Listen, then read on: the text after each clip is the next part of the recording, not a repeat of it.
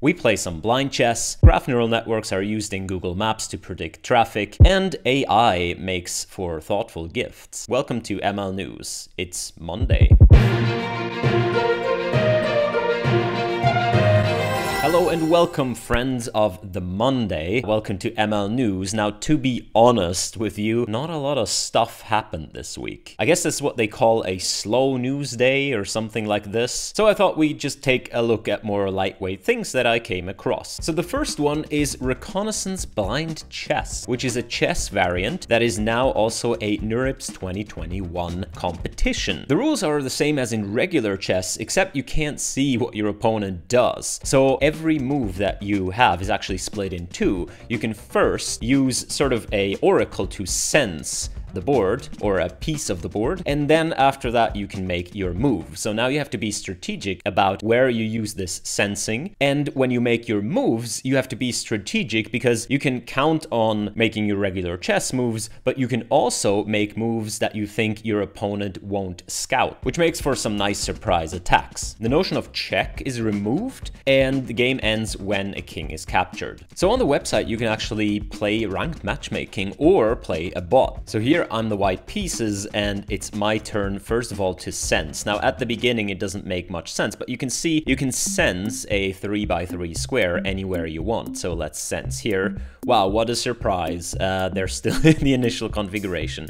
And then make a move. And now the opponent senses, you won't see where they sensed, and you won't see their move. Now I'm not particularly good at chess, but I'm just gonna scout about here and you can see that it reveals their move that they made. Now, had I scouted somewhere else, I would not have seen that move. So now I can react with a bit of an attack. And not only do you have to pay attention to what your opponent does, but you sort of have to model what your opponent might know about you. And maybe even from the moves that your opponent makes, you can sort of parse out what they might or might not know about you and your pieces. So here my opponent goes for a bit of an attack and I just like horses. Horses are nice. Alright, so move has been made. Now you do get informed when a piece of yours is captured or when you capture a piece. So none of that happened yet. So let's sense around here and that did not reveal anything. Oh yes, you can pass as well in this game, which makes it even more complicated. So I'm gonna guess uh, the opponent guarded this pawn back there. I'm gonna try some attack here. So now it's my turn to sense. I'm gonna sense about here to see if they countered any of my things. So now is an interesting situation, right? I have no indication that anything is in the way between me and the king. Now, if my opponent had sensed that I move my bishop there, uh, they would have probably moved the king out of the way by now. So the king might be here in front. Yet, if they hadn't scouted it, uh, they have no motivation to move the king at all. Therefore, I could now just capture the king. I won! I won! Greatest chess pro, Magnus Carlsen. Bring it on. Bring it on. All right, this is Reconnaissance Blind Chess. If you're interested, I'll link it in the description. Let's see if you can win too. I played against an opponent level of Trout here, just for reference. there are various settings and they instruct you how to build a bot. Give it a try.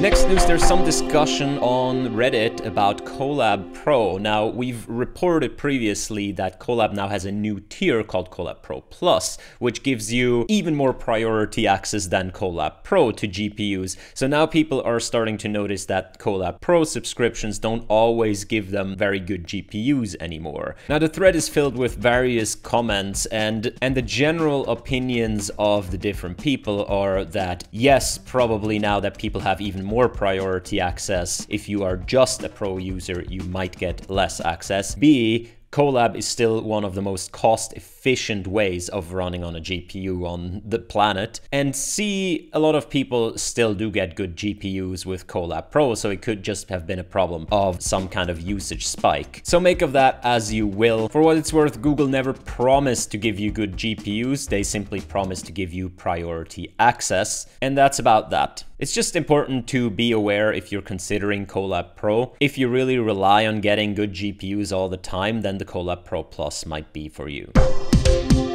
In a big collaboration between DeepMind, Waymo, Google, Amazon, Facebook AI, and Sea AI Lab, researchers have used graph neural networks to do better traffic prediction. Specifically, they talk about ETA prediction, estimated time of arrival, and that in real time. So the way they do it is they segment roads or paths in general into these segments, and then they use graph neural networks to integrate all live information to give you an accurate estimate of when you'll arrive. The interesting thing is they don't do that much crazy stuff with these graph neural networks. They have some tricks up their sleeves, like the use of meta gradients in order to control hyperparameters. But in general, it just sounds like a really solid engineering effort. And this is deployed in Google Maps. These statistics here show you by how much the ETA prediction accuracies have improved. And sometimes this is really staggering. So you see great improvements across the board, sometimes up to 50%. I'm not exactly sure what the metric here is, but 50% is a big number. Can we all agree? Yes.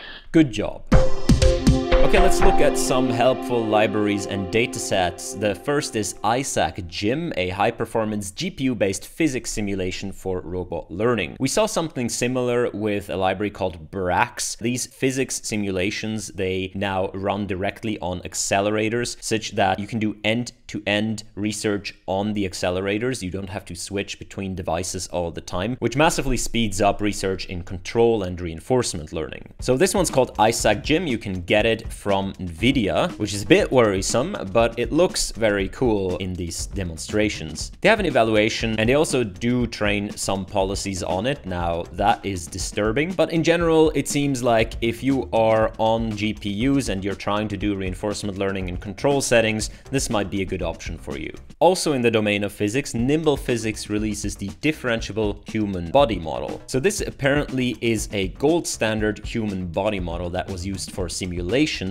and now this library made it end-to-end -end differentiable. Human body model isn't just one body model, but it is a configurable body model where you can sort of control the size of all the different parts and still get accurate simulations out of it. And now with it being differentiable, there's a whole new range of applications in research that become possible with this. If you're into biomechanics or differentiable simulations, I think you should check this out. LVIS is dataset set for large vocabulary instance segmentation. And the goal here is to do instance segmentations on categories that are vast. So there are a lot of categories in these instance segmentation problems, and a lot of them don't appear very often, which is what they're referring to here as long tail. So some of these things you might have never seen before. We've seen a couple of these data sets. This one is especially challenging because not only do you have to recognize what it is, you have to segment the instances. So here you can see examples of donut,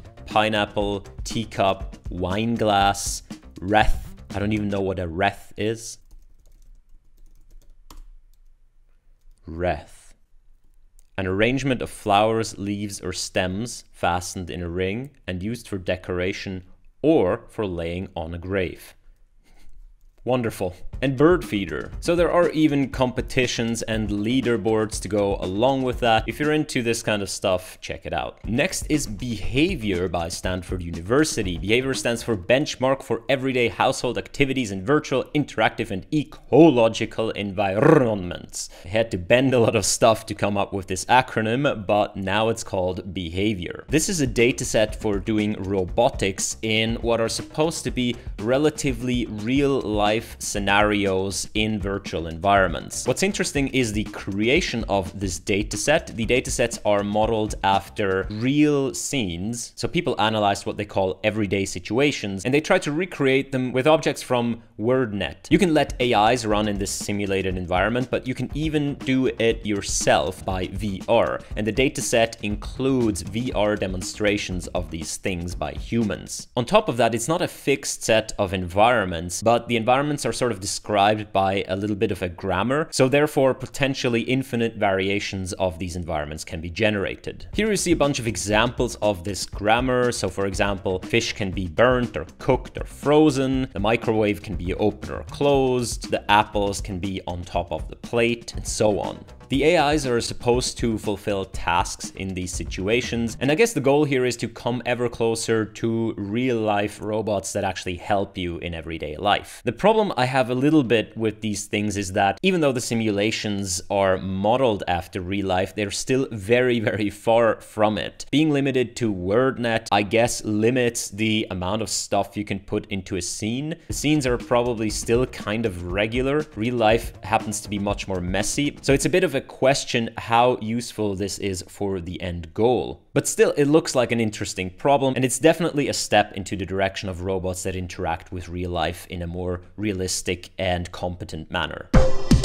Next news. Wired writes, a new chip cluster will make massive AI models possible. Cerebras says that they've built a cluster that can run a neural network with 120 trillion connections. For reference, that's about 100 times more than what's achievable today. So if you want to build a large-scale neural network today, your options are you can use TPUs, which are somewhat large if you use a cluster of them, or you can just stack GPUs together and connect them with some sort of InfiniBand. Both are not really optimal as the accelerators themselves are relatively small and they have to communicate a lot. Therefore, Cerebras's strategy is to build giant chips. Here you can see one in comparison to the largest GPU currently available, so these things are actually huge. Now, the article details the various engineering problems that you have when you want to create such a large chip. Notably, the chip itself has to be much more error tolerant as you can't simply switch out one piece whenever it breaks, like you could switch out a GPU. Now, GPUs by no means are cheap, but compared to this thing, a GPU is certainly a bargain.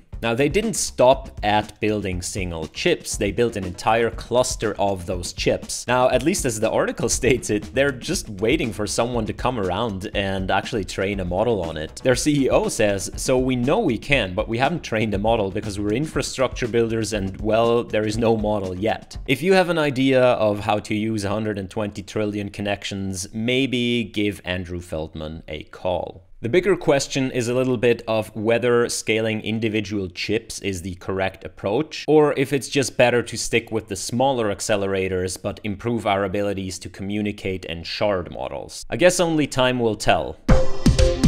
Washington Post writes, AI gave Val Kilmer his voice back but critics worry the technology could be misused. Of course, critics always worry the technology could be misused. So the article details about this startup called Sonantic that used recordings of Val Kilmer's voice in order to make an AI that can synthesize any text in his voice. Val Kilmer lost his original voice due to surgery after throat cancer, and this model essentially gives him back the ability to communicate in audio in the way that people remember him speaking. Now, this isn't a prosthetic, I think he still has to type the things he actually wants to say. But with some good brain interface, this could be an actual technology for people who lost their voice to be able to speak again in the future. The article also goes into a little bit of the possible economy that could result from this, namely that as a voice actor, I don't actually have to voice act for every project I do. I could simply sell my voice for other people to use as a sort of a licensing deal. The article also voices skepticism with respect to that and quotes Jay Britton, who is a voice actor, that says, When I'm an actor, I get to decide whether I support the content. It would be a devastating thing to drop on a voice actor that your voice is out there saying things that you might not necessarily support. So the criticism is that someone could buy your voice for a license fee and then have it say something that you disagree with. And rather than sounding the alarm bells about this, I think we should simply adjust to the fact that yes, this is a new possibility we have, but it's not a new thing by any means. I mean, stock photographs have existed for about as long as the internet has existed. And if you're a stock photograph model, then it's absolutely expected that your picture can be used for something you disagree with. That's just part of the deal. And no one faults these models if they appear on such a picture. So I think what needs to shift is not people not using this for various things, but simply our attitude towards what can be done with voice technology nowadays. So, the last article for today Forbes writes Can artificial intelligence give thoughtful gifts? An exploration of the possibilities and limits of AI's humanity. This is a bit of a fluff piece for a company that uses AI to sort of recommender system gifts for people, which is interesting because usually the media is rather critical of these recommender systems. However, in this case, it's sort of framed as the AI really understands you and knows what the good gift is in a moment and what a thoughtful gift is and so on. And you know, in my opinion, they're probably not wrong. Like most gift suggestions could be made by an AI much better than you just kind of sitting there and coming up with something. So the startup is called Gosby for people who are interested. I just want to show you how these things might look about. So this is one of these little plugins that you can have as a YouTuber that does a little bit of analysis for you. It's not super useful, but I always enjoyed this feature right here where it gives you ideas for your next videos and I'm not to say that the quality is anywhere near or close to what Gosby is doing. I have not tested them. I just want to show a little bit that you get the feeling of what this might be like. So here are videos I could do. I've not looked at these yet. I get three per day because I'm cheap and I'm on the free version of this product. So we're to look at them together. Devlog, tech demo, interactive game. Well, I don't think that's exactly for my channel. How to enable CNBC news alerts. I think it just estimates my channel as sort of like a tech channel or something like this. Maybe this is because I made how to bypass neural hash. Dismiss, a revolutionary product for Apple users. This is definitely because I made the videos on Neural Hash now. And that was it. Now, usually, usually I have to say they're a little bit better. They're a little bit into the direction of what my channel is actually doing. I guess I've just confused it with the recent videos about Neural Hash. But safe to say, if you're searching for gifts for people that you kinda know, a system like this might actually be a good place to go. It will probably suggest you a bit of generic gifts, maybe personalized a little bit to what you you input about the person you want to give to. And that's all we need. Okay, this was already it for ML News. As you can see, really nothing happened this week. If you're an ML researcher, if you're in industry, or even if you're just interested, please make something happen for next week. Please, I need content. It's very important. yeah, all right, I'll see you next week. Bye-bye.